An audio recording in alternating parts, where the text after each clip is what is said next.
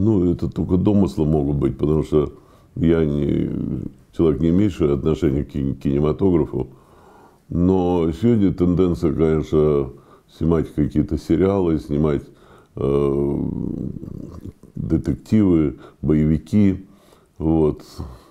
Ну, такое попкорновское кино. Вот. А дети, конечно, обделены, ведь было огромное количество э, детских фильмов. Я помню, что и Грамматиков этим занимался, и Быков. Вот.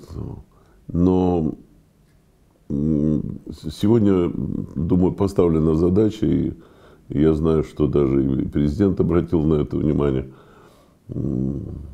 Я думаю, что если сегодня э, кто-то начнет это движение, оно обречено на победу, потому что мы соскучились по детскому кино, а дети особенно. Это, во-первых, воспитательный момент большой, вот, идеологический. И самое главное, э, что детям нужно, кроме боевиков и мультфильмов с ниндзями, посмотреть все-таки свою историю.